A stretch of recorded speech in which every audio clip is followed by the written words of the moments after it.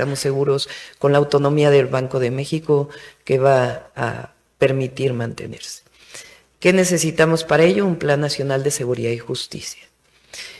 En la Ciudad de México nosotros logramos resultados muy importantes de disminución de la mitad en homicidios dolosos y de 70% en los, en los eh, índices de eh, delitos de alto impacto ¿Cuál es la estrategia que estamos planteando? Que lo podemos desarrollar en otras ocasiones y va a haber oportunidad de platicarlo.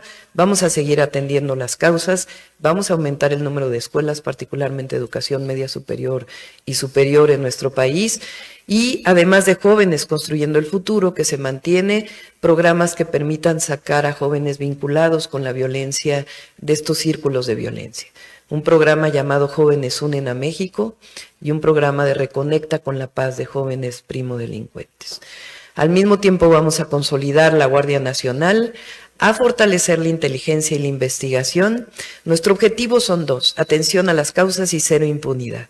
El fortalecimiento de la inteligencia y investigación es a través de un sistema nacional de inteligencia y investigación para la seguridad pública, eh, que permita vincular todos los sistemas de inteligencia e investigación por ley en nuestro país, la coordinación entre la Guardia Nacional, las policías estatales eh, y la Fiscalía y un modelo nacional de coordinación con las fiscalías. Queremos que el fiscal general de justicia sea parte del gabinete, que aun cuando mantenga su autonomía pueda eh, ampliar la coordinación para la disminución de la impunidad.